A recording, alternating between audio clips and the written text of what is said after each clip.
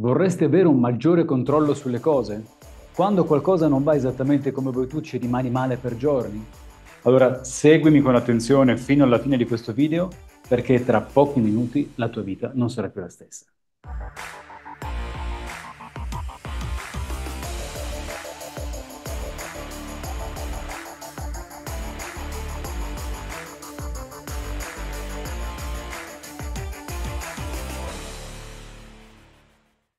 Ciao, sono Simone e bentornato sul mio canale YouTube. Ti ho appena fatto una promessa altisonante, a bold promise, come dicono gli inglesi. Ti ho promesso che se mi seguirai la tua vita cambierà e non sarà più la stessa. E credimi, sarà veramente così. Oggi ti voglio parlare di tre sfere che vengono definite la sfera del controllo, la sfera dell'influenza e la sfera del coinvolgimento, che sono quelle che vedi in questo momento. Queste tre sfere sono una rappresentazione grafica di ciò su cui tu hai il controllo e ciò su cui tu non eserciti alcun controllo, oppure sfera intermedia su cui puoi esercitare dell'influenza. Vediamo di chiarire il concetto e di metterlo a piedi a terra.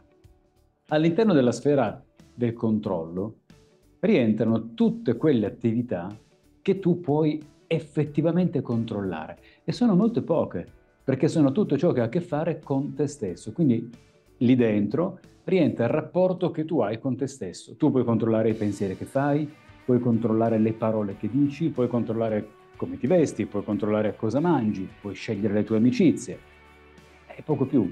Puoi scegliere come investire il tuo tempo, certo, se decidi di investirlo crescendo e migliorando come persona, oppure guardando Instagram e le auto da corsa tutto il giorno, per dire.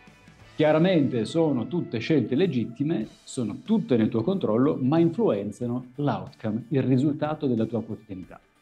Appena all'esterno di questa sfera del controllo c'è la sfera dell'influenza. Nel momento in cui tu non sei più l'unico decisore, ma nell'equazione rientra una seconda persona, tu non hai più il controllo sulla situazione. Tu al massimo puoi influenzare. Pensiamo al rapporto di coppia. Eh, diciamo che io voglio fidanzarmi con Belen. Non posso avere il controllo sulla situazione e quindi non posso neanche prendermela se poi le cose non vanno così. Perché tutto il più, a patto che io la conosca, posso cercare di influenzarla, di esercitare la mia influenza su di lei e quindi fare in modo di piacerle, diventare o essere il tipo di uomo che lei vuole. Insomma, posso cercare di appunto avere un'influenza sulla sua mente, sulle sue decisioni, ma di certo non la controllerò.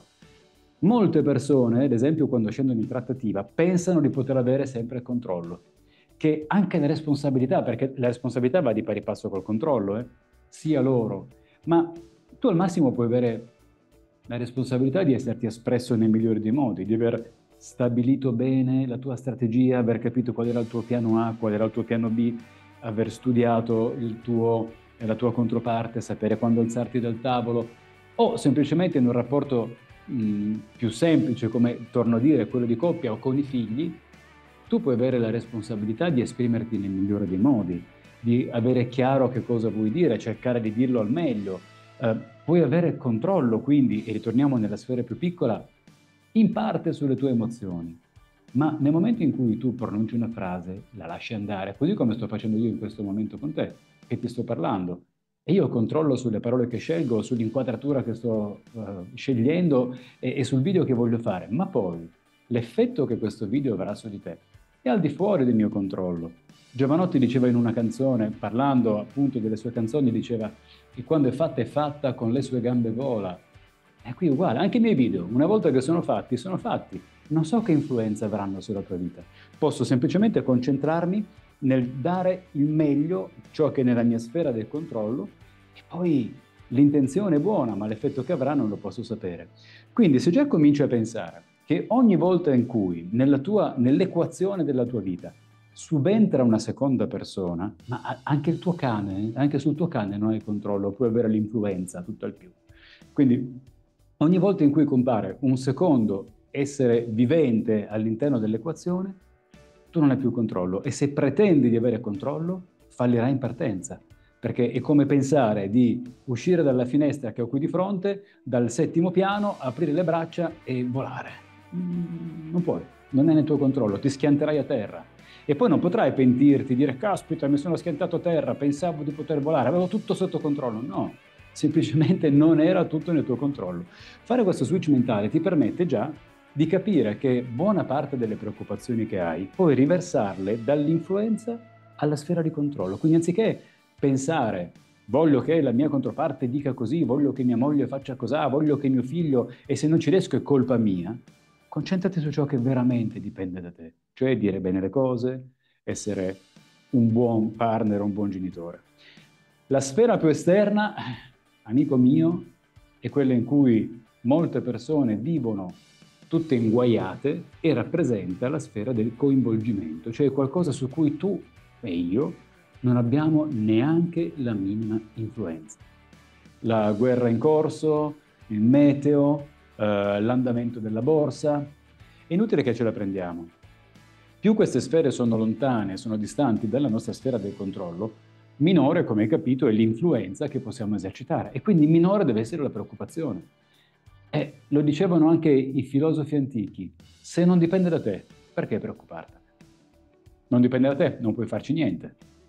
E allo stesso tempo, se dipende da te, perché preoccupartene? Vuol dire che è nella tua sfera di controllo, vuol dire che puoi farci qualcosa. Questo è un segreto per vivere molto più tranquilli, per impiegare meglio il proprio tempo. Perché se tu cominci a concentrarti solo sulle cose su cui tu hai veramente controllo, intanto diventi più consapevole, stabilisci un perimetro. Capisci che da lì in avanti mm, non è più cosa tua, ma non te ne stai lavando le mani, non è menefreghismo, è consapevolezza dei nostri limiti. Facciamo un esempio molto pratico e semplice, ad esempio con le finanze. Ok? La sfera esterna, la sfera del coinvolgimento per quanto riguarda il denaro, i soldi in generale, può essere rappresentata ad esempio appunto dall'andamento del mercato, della borsa. Eh, il dollaro sale, il dollaro scende, le azioni generali salgono scendono, ci puoi fare ben poco. È inutile che te la prendi perché non dipende da te. Se vuoi continuare ad aumentare le tue finanze, allora potresti rientrare nella sfera dell'influenza.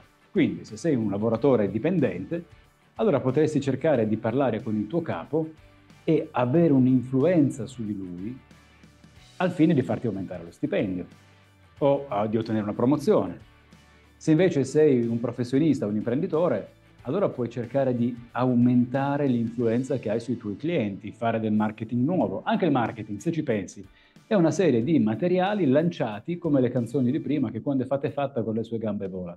Tu puoi influenzare chi li riceverà eh, con, con, il linguaggio persuasivo, delle immagini super belle, dei video, tutto quello che vuoi, ma avrai soltanto influenza. Quindi, se sei, dicevo, un libero professionista, potrai cercare di chiudere più contratti, portarti a casa più clienti, ma anche lì hai solo influenza su di loro. Non, è, non puoi mettergli la penna in mano e farli firmare. La sfera su cui devi concentrare la maggior parte delle tue energie, l'abbiamo capito, è la sfera del controllo. Quindi se sei un dipendente, ad esempio, quindi hai delle entrate fisse, puoi decidere di controllare meglio le tue uscite. E non so, tirare un pochino cinghia o disdire quelle quattro eh, abbonamenti da 10 euro che non segui, non lo so, fare ciò che rientra nel tuo specifico controllo. Se sei un professionista, se sei un imprenditore, allora puoi ad esempio, um, ne dico una, seguire un corso di comunicazione o di negoziazione. Perché? Perché nel tuo controllo seguirla e migliora, aumenta l'influenza che puoi avere sui tuoi clienti o sui tuoi prospect. Oppure puoi decidere di eh, cambiare strategie di marketing, quello lo puoi controllare, puoi controllare il fornitore, la social media manager, la web agency che ti segue, l'effetto chiaramente non lo controllerai più perché è al di fuori della tua portata. Bene, prima di arrivare alla conclusione di questo video, ti ricordo che qui sotto trovi il link per scaricare il mio manuale Codice Occam 8 mosse infallibili per vincere ogni trattativa e il mio videocorso gratuito in 4 lezioni. I link sono qui sotto, se hai qualunque commento mi raccomando sfrutta i commenti sotto, se hai delle domande scrivimi, ne parliamo insieme, vedi che cerco di dare risposta a tutti i commenti che mi arrivano. Che cosa vorrei che ti portassi a casa da questo video? Una cosa tanto semplice quanto importante, che più lasci andare e accetti di non avere il controllo su buona parte della tua vita, sulla stragrande maggioranza della tua vita, e meglio vivrai. più ti concentrerai su ciò che è in tuo controllo, ovvero probabilmente aumentare le tue competenze in modo da influenzare più gli altri, scegliere le persone che frequenti, perché quella è una scelta che puoi applicare, è nel tuo controllo, in modo da accrescere il tuo bagaglio culturale e, e, e la tua crescita personale. Quindi più ti rivolgerai al centro e più trascurerai il resto, e meglio è. Vorrei lasciarti con un esercizio da fare. Per te, che se hai piacere puoi postarmi sotto, puoi condividerlo nelle mie mail, trovi tutti i miei contatti sotto. Prendi un tema che per te è importante io ho fatto l'esempio dei risparmi, ma potrebbe essere qualcosa che ha a che fare con la tua carriera, l'aumento di stipendio, il matrimonio, il rapporto con i figli, ciò che per te è importante. Disegna queste tre circonferenze che rappresentano la sfera del controllo, dell'influenza e del coinvolgimento e scrivi in ognuna di esse dove rientrano gli aspetti che ti preoccupano. Se ti accorgi che ti stai preoccupando per cose che ti coinvolgono ma su cui tu non hai alcun potere, allora puoi tranquillamente cassarle, eliminarle e non pensarci più. Se invece ti stai preoccupando per qualcosa che rientra nella tua sfera di influenza, allora è bene capire che devi migliorare, aumentare le tue competenze che sono nel tuo controllo per avere più influenza su quella circostanza, essere più persuasivo, essere più tecnico, essere più preparato, essere più bravo, qualsiasi sia l'aggettivo che ti serve per raggiungere il tuo obiettivo ma anche lì devi essere pronto ad accettare la sconfitta, cioè a sapere che non dipende solamente da te. Se la tua controparte, chi c'è dall'altra, non ne vuole sapere, devi fartene una ragione. Il massimo della tua concentrazione devi dedicarla a ciò che è nel cuore, nella sfera del tuo controllo. Comincia a controllare ciò che pensi, i pensieri che fai creano la tua realtà, comincia a scegliere le parole che utilizzi, perché anche le parole che utilizzi creano la tua realtà, come le parole che io ho utilizzato fino ad oggi hanno creato la realtà che stiamo condividendo.